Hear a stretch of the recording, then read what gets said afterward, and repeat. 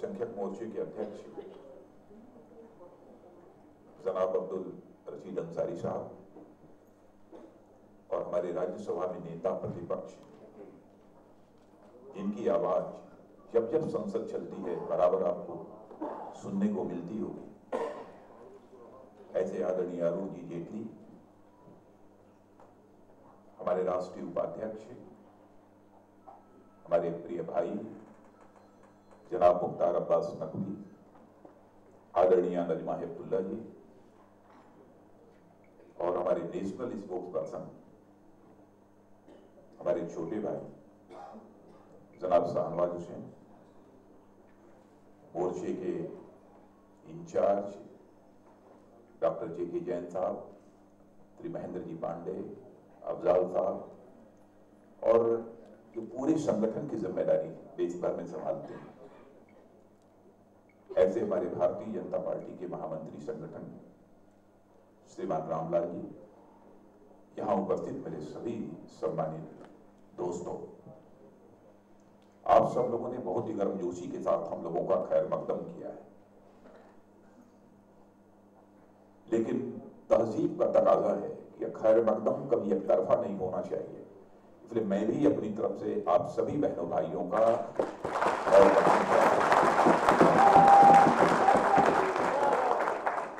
मैं और मैं जानता हूँ कि जनाब राशिद साहब ने इस हिंदुस्तान के मुस्लिम समाज को भारतीय जनता पार्टी से जोड़ने की जो कोशिश प्रारंभ की है, वैसे कोशिश तो हमारे नकवी साहब, हमारे शाहनवाज हुसैन जी, हमारी बहन नजमा अब्दुल्ला जी, इन लोगों के द्वारा बराबर होती रही।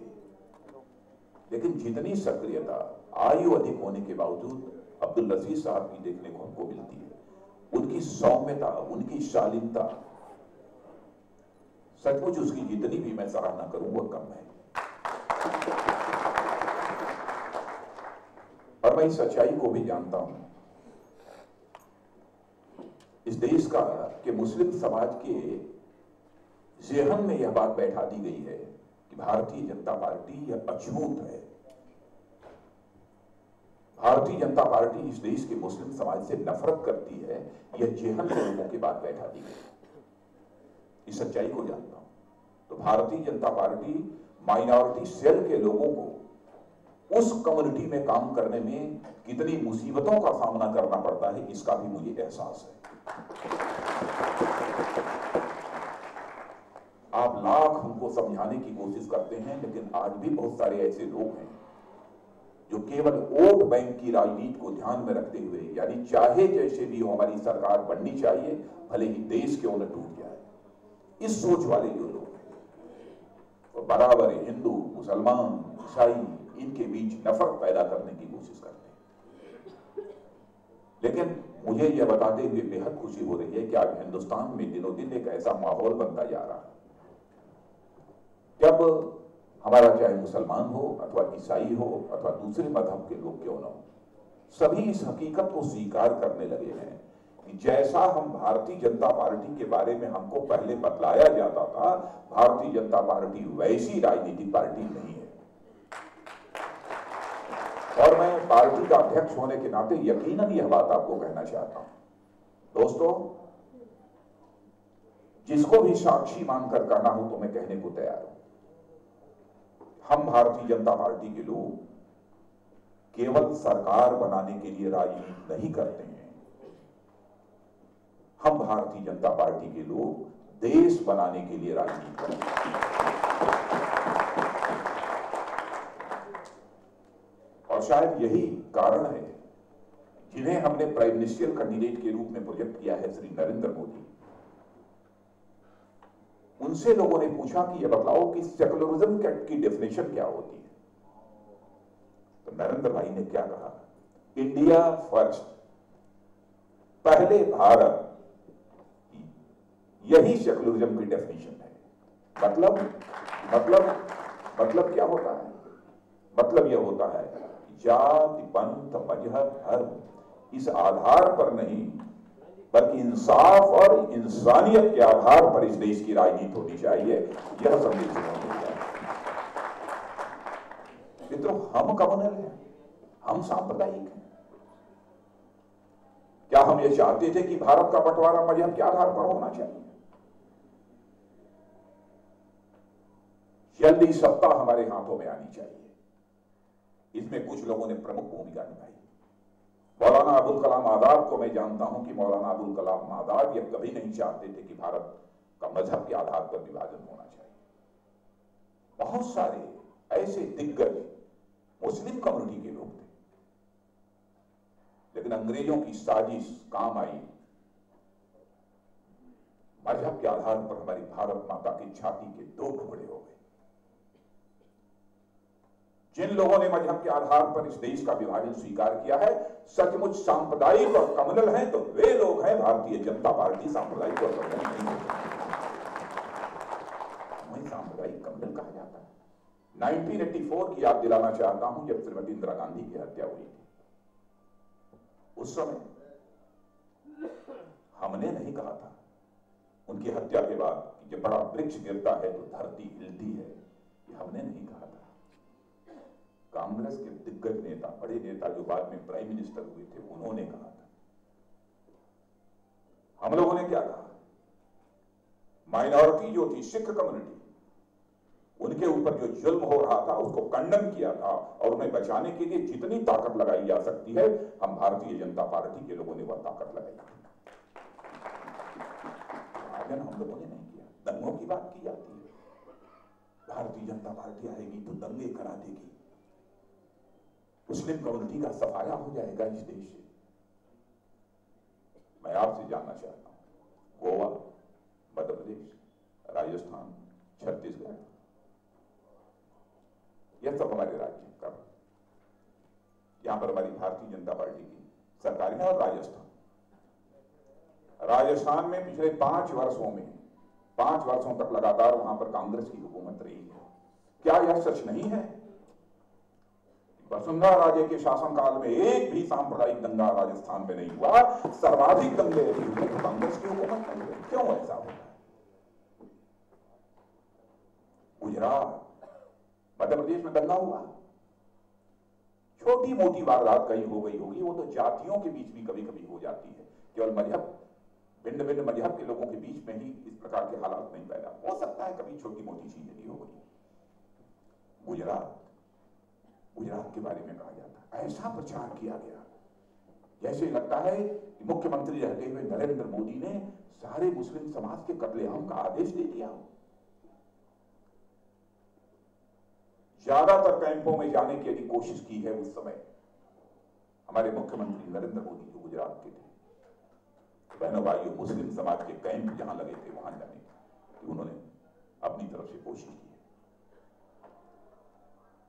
सारे देश में एक ऐसा माहौल पैदा कर दिया। देश में केवल एक दंगे की चर्चा होती है गुजरात की। क्या गुजरात में उसके पहले दंगे नहीं हुए हैं जब हितेश देसाई कांग्रेस के मुख्यमंत्री थे?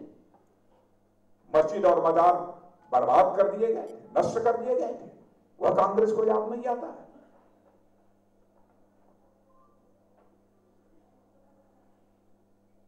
इतना ही नहीं। मिस्टर सैकिया हुआ करते थे। असम के मुख्यमंत्री एक दिन में पाँच हज़ार से अधिक मुसलमानों का कत्लेआम हो गया। किसके? क्या भारतीय जनता पार्टी के? उन्हें तो आप याद नहीं करते। केवल वोट बैंक की राजनीति, चाहे जैसे भी हो, कितना बदनाम कर सकते हैं। बदनाम करो, नरेंद्र मोदी को। ताकि पूरी भारतीय जनता पार्टी बदनाम हो जाए। इस देश का मुस्लिम समाज भारतीय जनता पार्टी से दूर चला जाए बहनों भाइयों, इस हकीकत को समझिए यह मैं आप सबसे अपील करना चाहता हूँ। मैं भी उत्तर प्रदेश का मुख्यमंत्री रहा हूँ। उत्तर प्रदेश के यहाँ पर लोग मौजूद हैं कोई? काफ़ी है। आप बतलाइएगा, मीडिया यहाँ पर बैठी हुई और मैं आपसे पूछना चाहता हूँ, उत्तर प्रदेश के लोगों से, उत्तर प्रदेश का मैं मुख्यमंत्री रहा क्या यह सच नहीं है? ज़्यादा दिन नहीं रहा हूँ, केवल सवा साल मुख्यमंत्री रहा क्या यह सच नहीं है? संस्कृत के अध्यापकों की पंचायत जब मैं, मैंने मुख्यमंत्री आवास में बुलाई तो साथ ही साथ मदरसे के भी अध्यापकों की पंचायत मैंने मुख्यमंत्री आवास में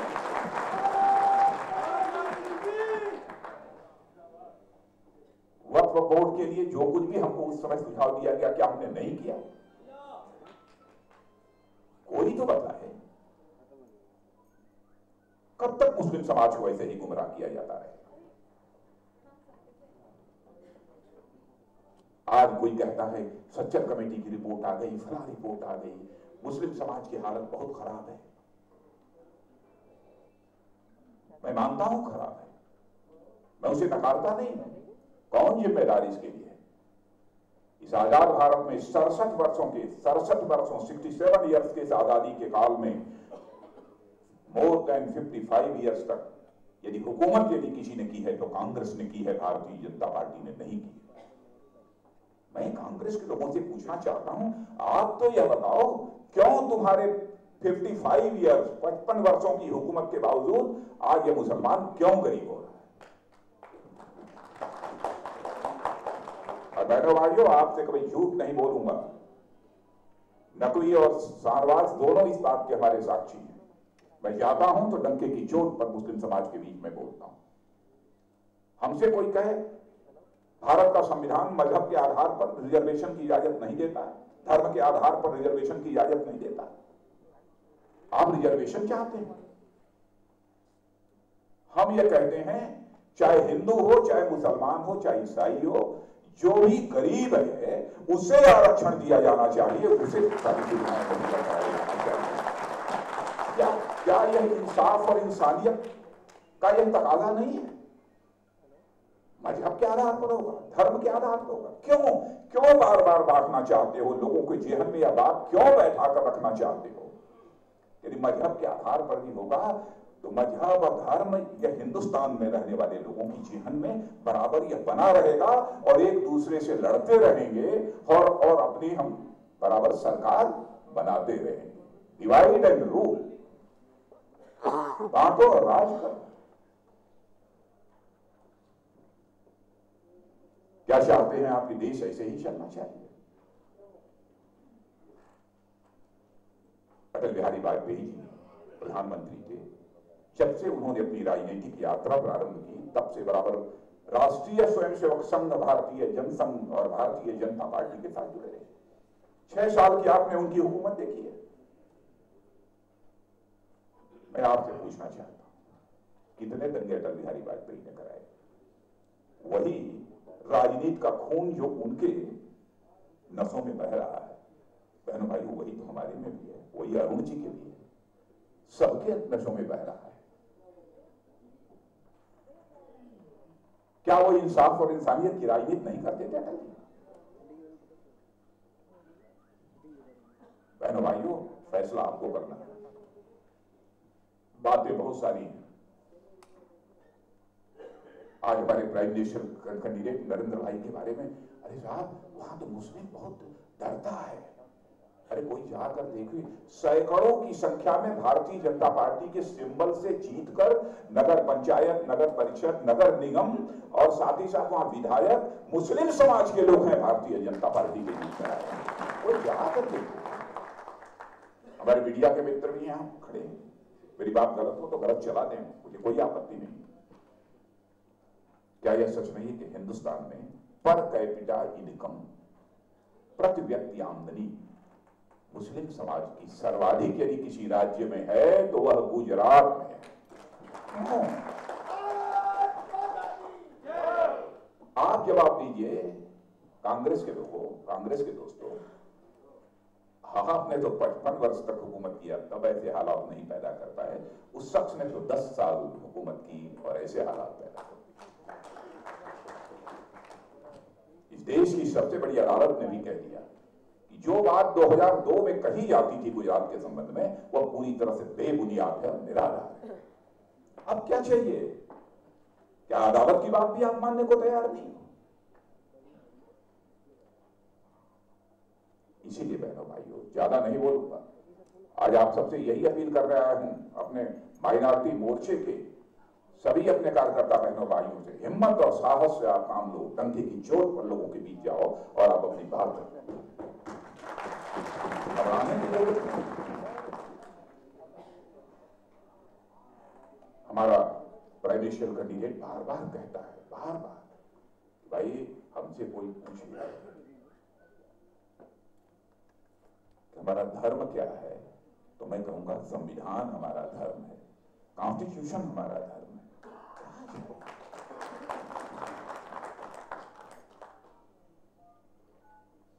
और मैं इस बार अंतिम निवेदन आप सबसे करना चाहता हूँ का चुनाव जो है इस बार का, बहनों भाइयों, किसी पार्टी की सरकार बनाने के लिए चुनाव मत करो।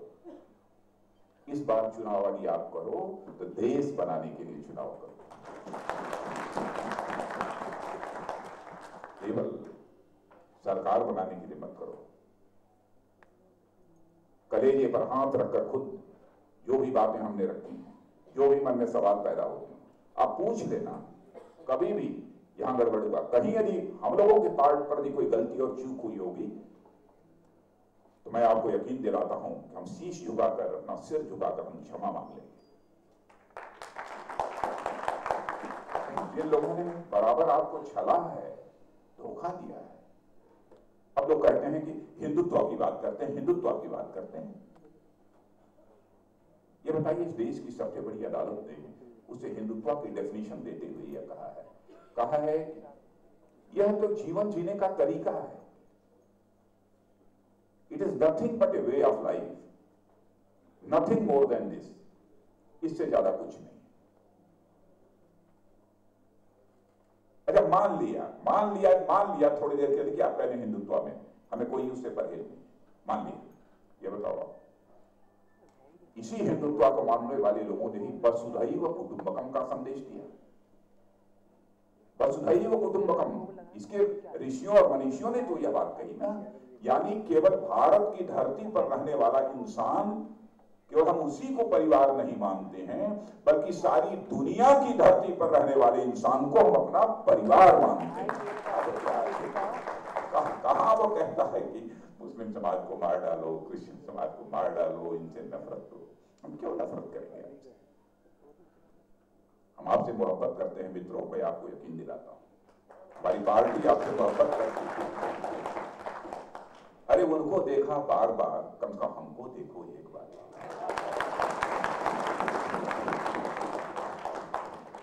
जाकर यही संदेश सब सभी तक पहुँचा दो कई बार उनको देख लिया। अरे आप पाँच साल के बाद चुनाव होंगे ही ना। लोकतंत्र है, आपको पूरा हक हासिल है। एक बार देख लीजिए। एक बार में हम आपकी कसौटी पर भी खड़े नहीं उतरिए, उतरे तो फिर आप दोबारा कभी भी मेरी तरफ़ नज़र उठाकर भी मत देखना, यह मैं आपसे कहना चाहता इन्हीं शब्दों के साथ मैं आप सबसे अपील करते हुए कि हिम्मत और साहस के साथ खड़े हो जाइए। और भारतीय जनता पार्टी, जिसका चुनाव चिन्ह कमल का फूल है और कमल का फूल भी पैदा होता है तो कीचड़ से पैदा होता है। उसको खिलने दीजिए। खिलाइए। ये खिलाने की ज़िम्मेदारी आपकी है। भारतीय जनता पार्टी की सरकार बनाइए। आपको हम एक मज़बूत भारत देंगे। ऐसा भारत देंगे, जिस भारत में परस्पर भाईचारे का रिश्ता होगा, इंसान और इंसान के बीच नफरत पैदा करने की इजाज़त नहीं दी जाएगी। इंसानियत की कद्र की जाएगी। इंसानियत की कद्र की जाएगी और हैवानियत को दंडित किया जाएगा। ये तो आप भी चाहते हैं कि हम ही क्यों चाहते हैं? आप भी चाहते हैं कि नहीं चाहते? इंसानियत की कद्र होनी चाहिए। सबके कामकाज को देख लिया है, हमारे हम लोगों के भी कामकाज को आप लोगों ने बहनों भाई इसलिए आपसे ज़्यादा कुछ न कहते हुए, बस मैं अपनी शुभकामनाएँ देता हूँ कि अगली बार जब हम लोग मिलेंगे लोकसभा के चुनाव के बाद तो मैं समझता हूँ कि क्लियर मेजोरिटी के साथ, पूर्ण बहुमत के साथ भारतीय जनता पार्टी